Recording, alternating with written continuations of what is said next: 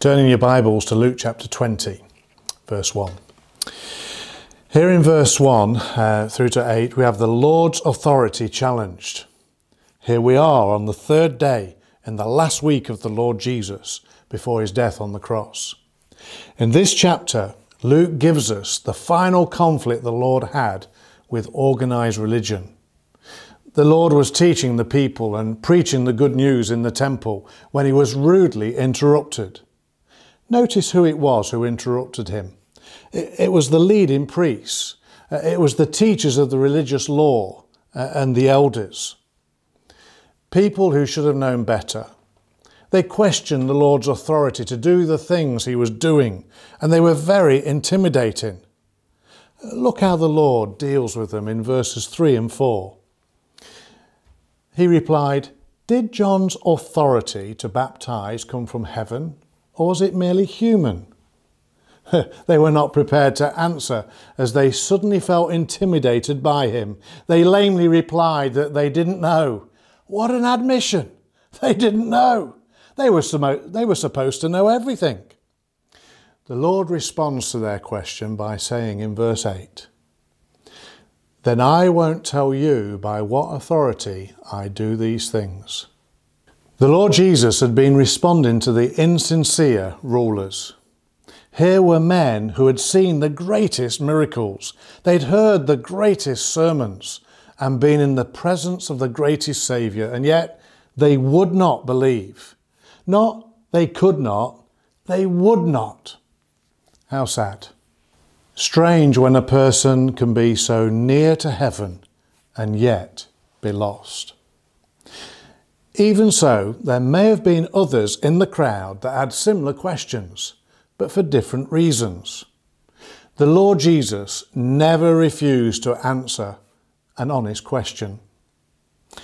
In this next story, the Lord gives the answer to who he was and where his authority came from. Let's look at verses 9 to 19, the parable of the evil farmers. In verses 9 to 10, uh, this story or parable was not intended to hide the truth, as was the case in Matthew chapter 13, but to show the truth. Here we have a man who plants a vineyard, who leases it to farmers, and at harvest time he sends one of his servants to uh, collect the share of, uh, of the crop. What picture was the Lord showing those around him? The man who planted the vineyard is God. Uh, the vine represents the nation of Israel. Three trees symbolize the nation of Israel in the Bible the vine, the fig, and the olive. The vine represents Israel from its planting in the promised land until the nation rejected the Lord Jesus as their Messiah. Asaph in Psalm 80, verse 8, writes, you brought us from Egypt like a grapevine. You drove away the pagan nations and transplanted us into your land. You cleared the ground for us, and we took root and filled the land. By the time Jeremiah comes on the scene, it's a very different story. In chapter 2, verse 21, he says this But I was the one who planted you, choosing a vine of the purest stock, the very best. How did you grow into this corrupt, wild vine. Look at Isaiah chapter 5, verses 1 to 7. Now I will sing for the one I love a song about his vineyard. My beloved had a vineyard on a rich and fertile hill. He ploughed the land, cleared its stones, and planted it with the best vines. In the middle, he built a watchtower and carved a winepress in the nearby rocks. Then he waited for a harvest of sweet grapes, but the grapes that grew were bitter. Now, you people of Jerusalem and Judah, you judge between me and my vineyard. What more could I have done for my vineyard that, I've, that I have not already done? When I expected sweet grapes, why did my vineyard give me bitter grapes? Now let me tell you what I will do to my vineyard. I will tear down its hedges and let it be destroyed. I'll break down its walls and let the animals trample it. I will make it a wild place where the vines are not pruned and the ground is not hoed, a place overgrown with briars and thorns. I will command the clouds to drop no rain on it. The nation of Israel is the vineyard of the Lord of heaven's armies. The people of Judah are his pleasant garden. He expected a crop of justice, but instead he found oppression. He expected to find righteousness, but instead he heard cries of violence. The fig tree represents Israel between the time of the Lord's rejection by Israel and the time of his return. The olive tree represents Israel as she will be in a coming day when the Lord sets up his kingdom on earth. The tenant farmers here in the story represent the leaders from Moses to David, to the teachers of the present day who were there standing around Jesus. They had had godly leaders, but they'd also had some wicked ones too. These present day leaders were cruel and corrupt beyond description. Look what happens to God's servants in verse 10, verse 11, and verse uh, 12. At the time of the grape harvest, he sent one of his servants to collect his share of the crop. But the farmers attacked the servant, beat him up, and sent him back empty handed. So the owner sent another servant, but they also insulted him, beat him up, and sent him away empty handed. A third man was sent, and they wounded him and chased him away. And so we have it beat him up, beat him up, beat him up. That's what they did to the servants. Hebrews chapter 11 and verses 35 to 37 uh, puts it another way. But others were tortured, refusing to turn from God in order to be set free. They placed their hope in a better life after the resurrection. Some were jeered at, and their backs were cut open with whips. Others were chained in prisons. Some died by stoning, some were sawn in half, and others were killed with the sword. So we have the Jewish treatment of the prophets. In verses 13 through to 15, we have the Jewish treatment of the son. What will I do? The owner asked himself. I know. I'll send my cherished son. Surely they will respect him. But when the tenant farmers saw his son, they said to each other, Here comes the heir to this estate. Let's kill him and get the estate for ourselves. So they dragged him out of the vineyard and murdered him. What an insight into the heart of God. He knew these people and how hard hearted they were, but still, he sent his only son into the world to reveal the love of God for them. Instead of respecting him, they were determined to get rid of him and refused to acknowledge his authority. The day before, the Lord Jesus had wept over Jerusalem. Read about that in chapter 19, verse 41. But as he came closer to Jerusalem and saw the city ahead, he began to weep.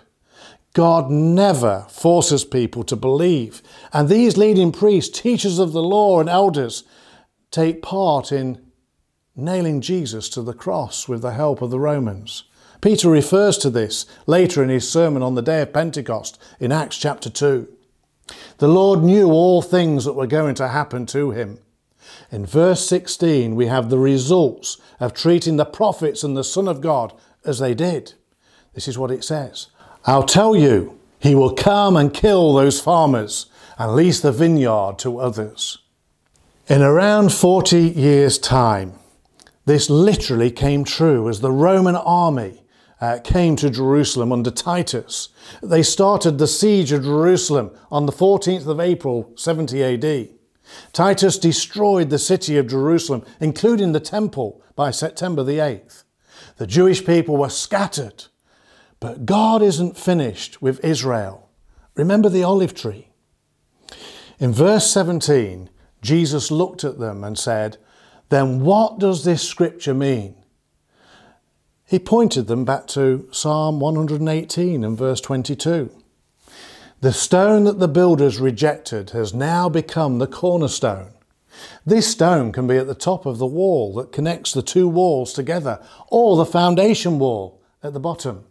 In 1 Kings chapter 5, we have the account of uh, the building of Solomon's temple. Solomon had 80,000 quarry workers, he had 70,000 labourers, 3,600 uh, foremen to supervise the work. as well as 30,000 men working shifts in Lebanon. The temple was magnificent. Imagine the scene as the stones were being put into place there on Mount Moriah. They came across one particular stone which didn't seem to fit. They had all been prepared in the quarry. This stone was rejected uh, uh, and pushed down the hill uh, from the temple site. Then they came to the missing stone and they call up the quarry to find out what that it's already been delivered, the one they discarded.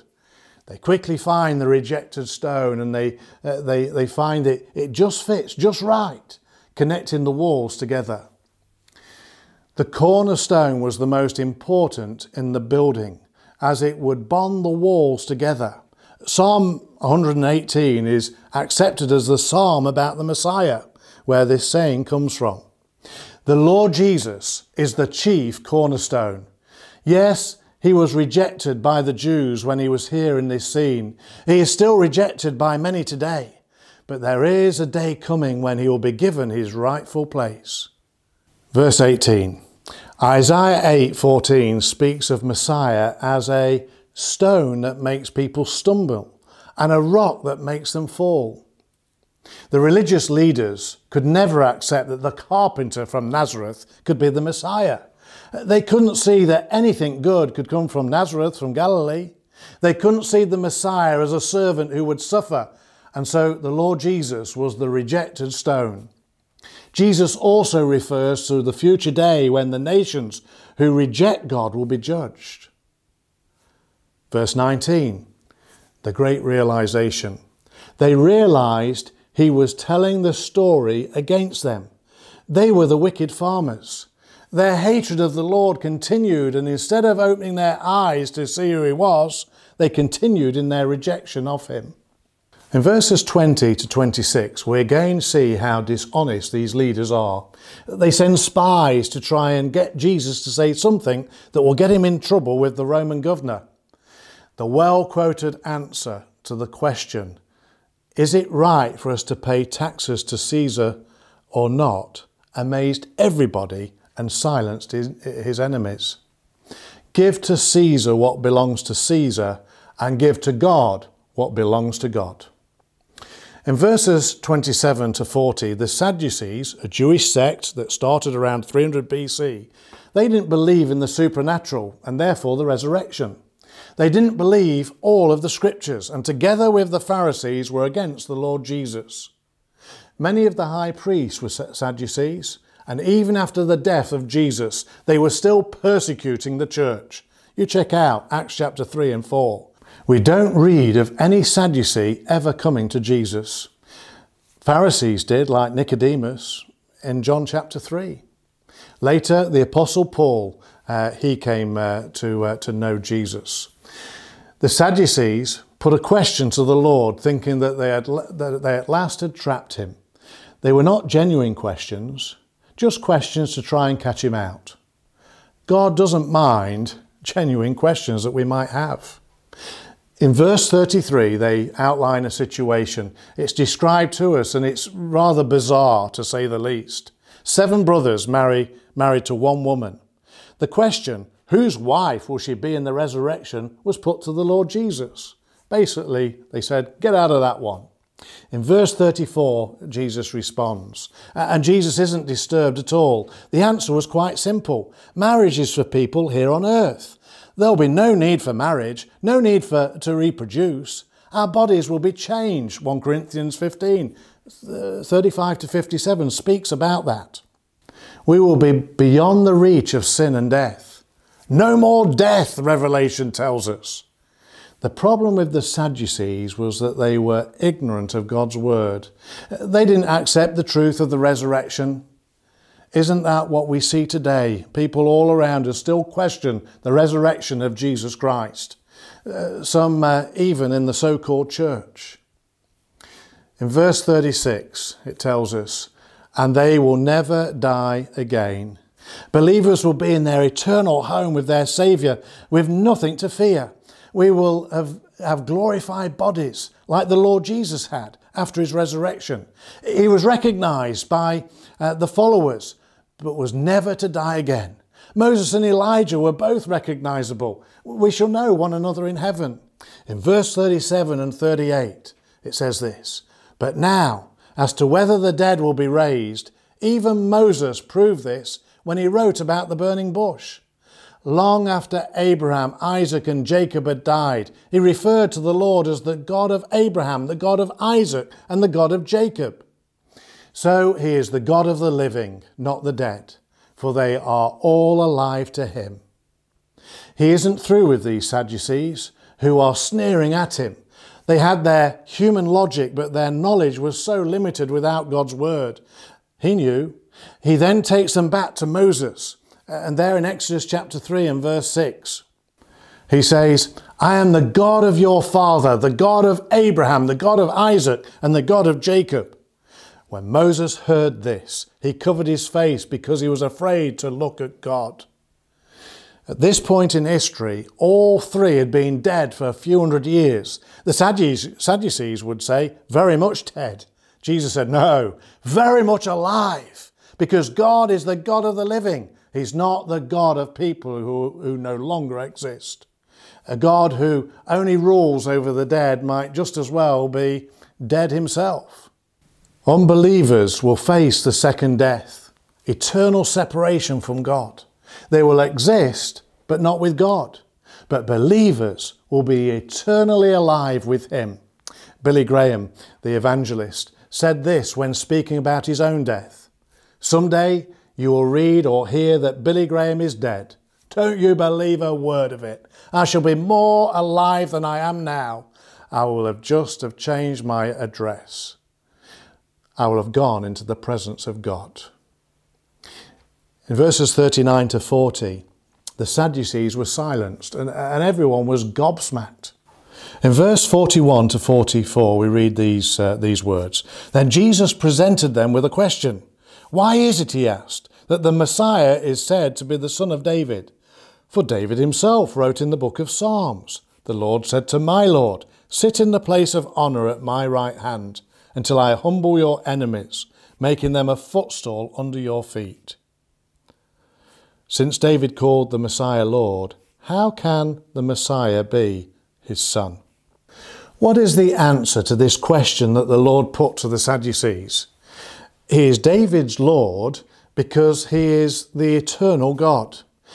He is David's son because he became man.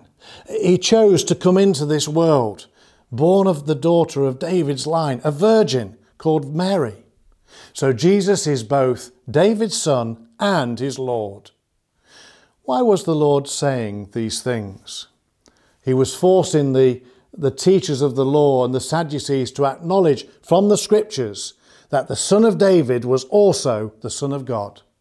They couldn't deny that he was the son of David. People had often called him the son of David. Once again, his enemies were left speechless. As this chapter closes in verses 45 to 47, we see how the Lord points out the hypocrisy of the teachers of the religious law. So, we have the enemies of the Lord who are still unable to catch the Son of God out, but are determined to get rid of him. The work that the Father had sent him into the world to do, to be the Saviour of the world, was now very close at hand. I wonder today, who do you think Jesus is? I believe he's the Son of God who loved me and gave himself for me. But I also believe that he died for you too, and he longs for you to trust him as your Saviour from sin. Why not this very moment ask the living Lord Jesus, who loved you and died for you, who rose again the third day, who lives for you in heaven, why not trust him? Take him as your Saviour. You'll never regret it. Let's pray. Father, indeed, we want to uh, thank you for your word. We thank you that uh, you reveal yourself through your word. And we thank you that you sent the Lord Jesus into this world to be our Saviour. We pray, Lord, that each of us might know that uh, we uh, are yours, uh, not through anything that we've done, but because we've simply put our trust, our faith in what Jesus did for us there on the cross. We thank you that as we uh, think uh, this morning as, uh, of uh, these uh, people who uh, saw the Lord in person and yet they rejected the evidence. We pray, Lord, that we would learn from them and that we would recognize who the Lord Jesus is and what He's done for each of us. We thank you, Lord, for uh, this uh, time. We thank you for uh, your word, and we pray that we would get into it. And we pray that we wouldn't be ignorant, but we would take your word for what it is the very word of God, truth and uh, truth that needs to be taken in and to be acted upon. Lord, we uh, pray for our fellowship. We pray, Lord, that you would bless each, uh, each one and uh, those connected with us. We uh, ask, Lord, for your blessing on them. And for those who need uh, uh, special help at this time, we pray that they might Uh, know your, uh, your very special presence. And so we thank you for all that you've done for us. And uh, we pray in Jesus' precious name. Amen.